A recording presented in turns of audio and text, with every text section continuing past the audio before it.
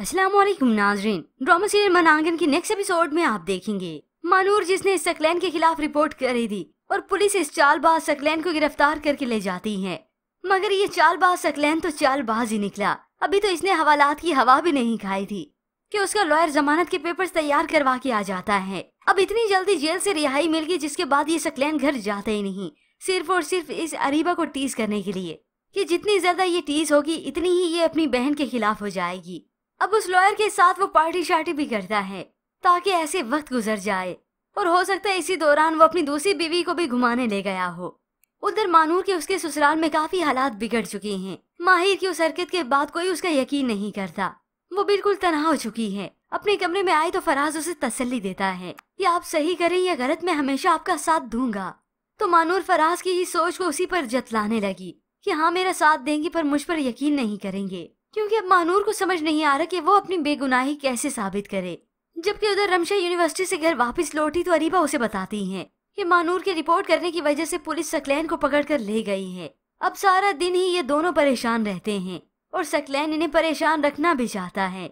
मगर अब जब सुबह से रात हो जाती है तो ये सकलैन घर वापस लौटता है, मगर ऐसी ही सीधी हालत में नहीं। बल्कि अपने उस चमचे लॉयर को कहता है कि वो उसे मारे, मीन अच्छी खासी अपनी धुलाई करवाई। अब इधर अंदर रमशा और अरीबा बहुत ज़्यादा परेशान हैं। आखिर ये रमशा फराज से ही दरख्वास्त करती है कि वो मानूर से कहे कि केस वापस ले ले। मगर मानूर ये बात सुनना भी नहीं चाहती। उसी वक्त फराज को रोक देती है कि वो ये केस हरगिज वापस नहीं लेगी।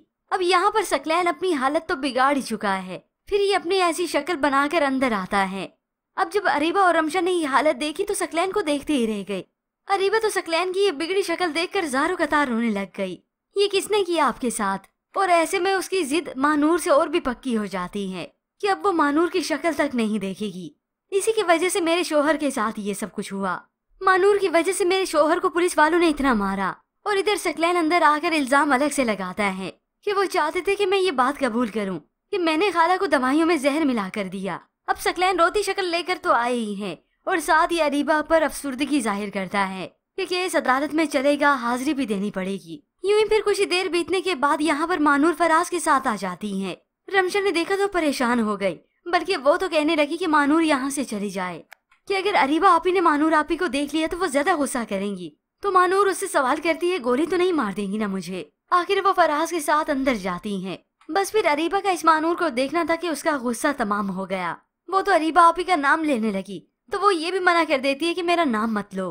और उसी वक्त वो अपना उससे ताल्लुक भी तोड़ देती है। अब ऐसे में ये सकलैन, बल्कि उसकी हर चाल कामयाब रही। वो कामयाब रहा कि कैसे मैंने उसे उसी की बहन के सामने नीचा दिखा दिया। मुझे कुछ कहने की, कुछ करने की ज़रूरत ही नहीं पड़ी। मेरे लिए अरीबा ही काफ़ी है। खैर, इस तरह से इसका ये बहन से नाता भी टूट जाएगा। मगर व्यूवर्स अब तो इस ड्रामा सीरियल को दी एंड कर देना चाहिए। ये सकलैन है और इसकी चालें हैं, जो मुसलसल कामयाब हो रही हैं। और ये ड्रामा सीरियल अब तो बोरिंग भी लगने लगा है। सारी स्टोरी ऐसे लगता है जैसे एक से ही चल रही है। पर ऐसे में व्यूवर्स आपको क्या लगता है? मानूर अपनी बहन के प्रेशर में आकर क्या केस वापस ले लेगी? या आपकी बार तो वो डट ही जाएगी? इसके मुताबिक हमें अपनी कीमती राय का इजहार ज़रूर कीजिएगा। मजीद ड्रामा रिव्यूज़ के लिए आप देखते रहिए उर्दू